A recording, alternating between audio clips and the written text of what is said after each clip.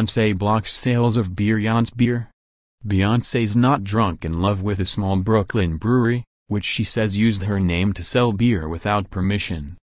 Queen Bey is blocking Brooklyn lineup brewing in Sunset Park from selling more of its Bïeryoncé Pilsner, which was made in her honor, according to a report.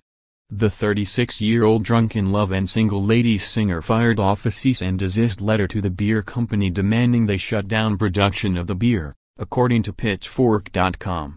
But the superstar is saying no can do to sales of the suds, in part because the beer label uses the same pink lettering that featured on her self-titled 2013 album, according to the music news site. Brewery owner Katarina Martinez has been selling the beer since October 2016. But trouble didn't bubble up until she got the letter last month, she said. As a Hispanic, female-run business, I am very inspired by her so I thought I'd pay homage, Martinez told Pitchfork. We're disappointed she didn't take it as a compliment, but oh well. It was fun while it lasted.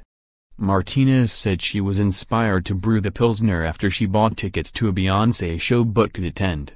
She plans to sell the remaining Bïeryoncé she has left then stop brewing it, the site reported. A rep for the singer didn't immediately return a request for comment Tuesday. Beyoncé has inspired a new German-style beer entitled Bïeryoncé.